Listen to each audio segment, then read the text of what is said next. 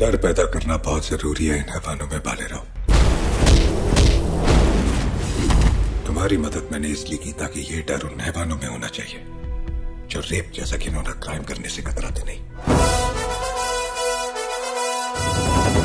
जब भी वो किसी लड़की को बुरी नज़र से देखने की कोशिश करेंगे, उनके मन में ये डर, ये ख्याल आना बहुत ज़रूरी है कि कुछ हीड़े खाकी वर्दी वाले आएँगे और ठोक के चले जाएँगे।